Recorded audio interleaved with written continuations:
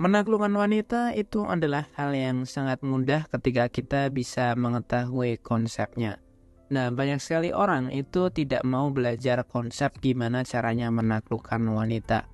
Sehingga banyak orang itu akan bingung dan istilahnya mereka itu sangat ketakutan ketika harus berhadapan dengan wanita. Intinya ketika lo tahu ilmunya, tahu konsepnya, gue yakin semua orang itu pasti bisa menaklukkan wanita. Di video kali ini gue akan membahas gimana caranya menaklukkan wanita dari sudut pandang sains dan psikologi. Pertama, kita harus mengetahui bahwa semua makhluk itu pasti punya ketakutannya masing-masing. Dan ketakutan hal ini dalam konteks wanita itu adalah insecure. Nah, insecure ini sebenarnya bisa diterjemahkan ke dalam beberapa kalimat ya, Bro bisa jadi minder, bisa jadi ngerasa nggak cantik gitu, ngerasa dirinya itu ada yang kurang. Tapi saat ini kita spesifik bahwa insecure yang kita maksud dalam video ini adalah insecure-nya wanita mengenai dirinya yang nggak merasa cantik. Studi sudah memberikan bukti bahwa wanita itu ternyata 70% lebih merasa insecure dibandingkan dengan laki-laki. Sehingga tidak heran kenapa banyak sekali produk-produk kecantikan itu diterbitkan sama perusahaan untuk meminimalisir hal tersebut. Kalian pasti akan lihat kan banyak sekali produk-produk kecantikan dari cewek. Ya itu semua hanya untuk menanggulangi karena cewek ini secara studi ilmiah itu memiliki tingkat insecure yang sangat tinggi. Nah kita bisa melihat dari sudut pandang romansa bahwa ketika cewek itu insecure, maka kita bisa memanfaatkan hal ini, bro. Nah, tandanya gimana, bro? Jadi setiap wanita itu pasti punya rasa insecure gitulah. Trauma, minder dan lain sebagainya. Nah, tanda-tandanya gimana? Nah, kita akan masuk di situ, bro. Ketika lo puji cewek, itu ada dua kemungkinan ketika lo puji dan dia bilang makasih, maka berarti rasa insecure dia terhadap kecantikan itu masih biasa aja. Standar lah. Tapi kalau lo puji, dia bilang apaan sih gitu. Dia malah jadi nggak pede, dia ngerasa marah, dia ngerasa insecure. Nah di situlah lo bisa masuk bro. Ketika wanita itu lo puji mungkin dari sudut pandang dari atas ke bawah ya mungkin dari rambutnya dari matanya dan dia ngerasa nggak nyaman itu sudah tanda bahwa wanita ini memiliki rasa insecure pada masalah fisik. Nah ketika lo berada di posisi seperti ini maka lo harus bisa memberikan keamanan dan ketenangan sehingga cewek itu nggak merasa insecure terhadap fisiknya dia. Caranya gimana ya? Caranya lo bisa bilang gitu kamu kenapa kok dipuji itu nggak suka atau nggak senang itu kenapa? Lo bisa buka topik permasalahan hal tersebut tapi tipis-tipis aja. Jangan sampai menyinggung perasaannya dia.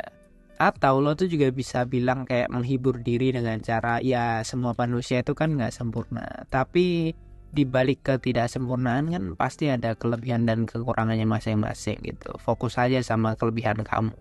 Jadi lo bisa pancing-pancing dengan menggunakan kata-kata tersebut tapi lo nggak harus langsung menjurus ke arah dia. Intinya sebisa mungkin lo tuh harus kasih obrolan sehingga membuat dia itu nyaman. Nah, ini adalah salah satu trik yang sebenarnya sangat manjur bro. Karena apa? Karena banyak orang itu tidak memahami hal seperti ini. Sehingga ketika lo memahami, oh bahwa cewek ini kayaknya punya insecure masalah fisik, lo sekarang sudah bisa mengatasi hal itu dengan cara apa? Dengan cara memberikan ya obrolan atau topik-topik yang menenangkan cewek tersebut gitu. Sehingga cewek tersebut itu ngerasa nyaman sama lo karena apa? Karena lo itu nggak terlalu memandang fisik gitu. Inti dan poinnya tuh ada di situ bro. Buatlah cewek itu nyaman. Ketika cewek itu ngerasa nggak nyaman karena fisiknya, ya lo kasih kata-kata yang bikin dia itu nyaman gitu. Sehingga dia itu ngerasa nggak harus menutupi fisiknya dia ketika sama lo. Nah di sisi lain hal seperti ini juga akan membuat kalian itu merasa lebih percaya diri bro bahwasannya cewek itu justru lebih insecure daripada laki-laki. Semua cewek ya bahkan cewek yang cantik sekalipun itu mereka masih punya rasa insecure. Makanya wajar banget ya ketika kalian dengerin podcast tentang artis beberapa artis itu masih ngerasa insecure sama dirinya sendiri. Padahal dia itu udah artis yang sangat terkenal di Indonesia. Bahkan ada banyak sekali artis-artis yang memutuskan untuk operasi plastik. Karena apa? Karena dia merasa masih insecure. Sebenarnya kalau kita lihat dari sudut pandang psikologi, dia itu bukan ngerasa dirinya kurang cantik. Tapi dia itu butuh seseorang yang bisa bikin dia merasa aman. Dia itu butuh seseorang yang bisa melengkapi dirinya sehingga dia itu nggak terlalu fokus masalah fisik. So jadilah laki-laki yang bisa memberikan rasa aman. Jadilah laki-laki yang bisa menghilangkan trauma-traumanya cewek. Salah satunya adalah masalah insecure.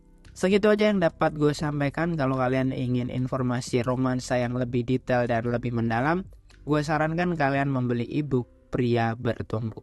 Dan kalau kalian pengen gratisan, kalian juga bisa berkonsultasi sama gue gratis. Kalau kalian tertarik, linknya ada di deskripsi. Terima kasih telah menonton. Jangan lupa like, komen, dan subscribe video ini. Dan jangan lupa bahagia, salam pria bertumbuh, dan semangat bro.